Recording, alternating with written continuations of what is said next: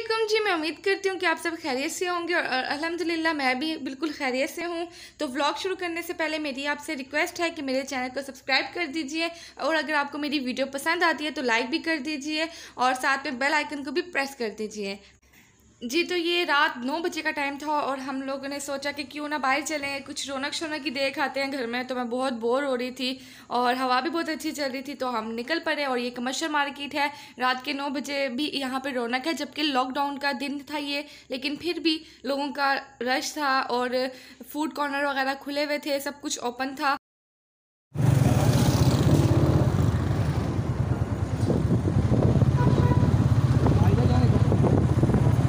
और जी सुनाए गर्मी का आलम, क्या चल रहा है आजकल? रावलपिंडी में तो बहुत गर्मी पड़ रही है।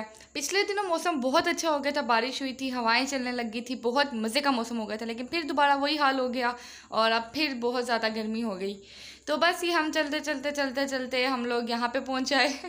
तो कुछ फ्रूट्स वगैरह लिए, थोड़े से ख़त्म हो गए थे तो बस वो हम ले आए दोबारा से।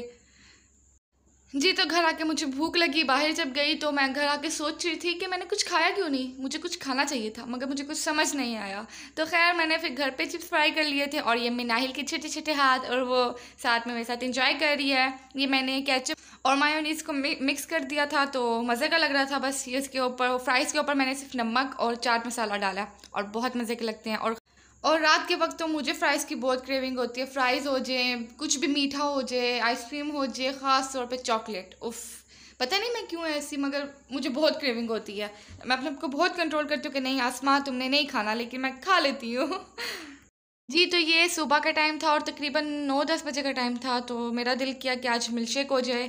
क्योंकि हैवी नाश्ता वगैरह करते करते थक जाता है इंसान तो मैंने कहा, चलो, कुछ मिल्क शेक हो जाएगा हेल्दी भी है। तो बस ये मैं इस टाइम बनाना और एप्पल को कट कर रही हूँ, और यहाँ पे मिनाहिल मुझसे कह रही है, मम्मा, मुझे चाहिए। और उसने नीचे ज़िद लगाई हुई है तो बस मैं उसको हल्का सा थोड़ा सा कट करके दे रही हूँ, क्योंकि वो खाती तो है नहीं। अगर खा ले तो क्या ही बात है, हम माओं के लिए आसानी ना हो जाए, अगर बच्चे खाने लग जाएँ। तो खैर, वो अपना लेके चलेगी जो अब उसने उसके साथ करना है, वो करेगी। तो बस मैं यहाँ पे एप्पल कट कर रही हूँ, और इसके बाद मैं ग्राइंड करूँगी।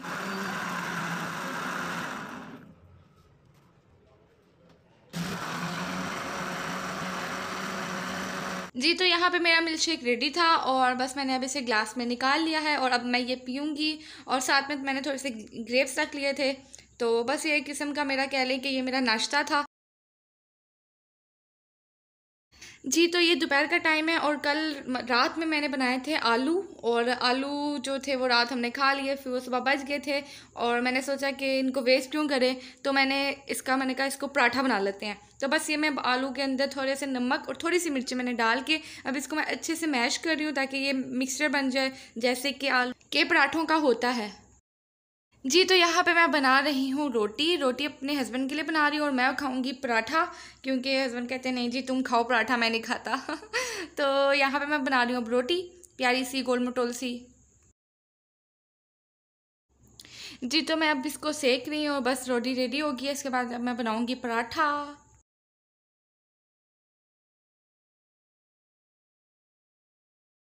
जी तो मैं इस तरीके से फिलिंग करती हूँ, पराठे के लिए कुछ लोग छोटा सा पेड़ा बनाते हैं, उसी के ऊपर मिक्सचर रख देते हैं, एक टेबल स्पून और बस उसको फिर बंद करके बस वो पराठा एक रोटी की तरह बना लेते हैं। मगर मैं इस तरह दो छोटे छोटे पेड़े लेती हूँ, उसके ऊपर अच्छे से सारे तरह, सारी जगह पर लगा के तो बस मैं ये डबल पेड़े का मैं बनाती हूँ।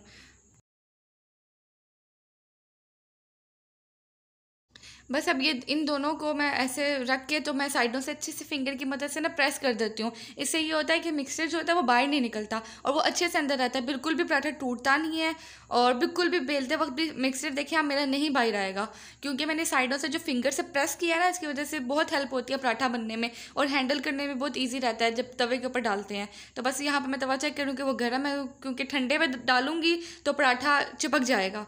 तो इसे गर्म का चेक करने का तरीका ये है कि उसके ऊपर हल्का सा हाथ रख के देख लें कि अगर आपको उसकी सेक लग रही है हाथ पे तो इसका मतलब वो सही तरीके से गर्म हो चुका है।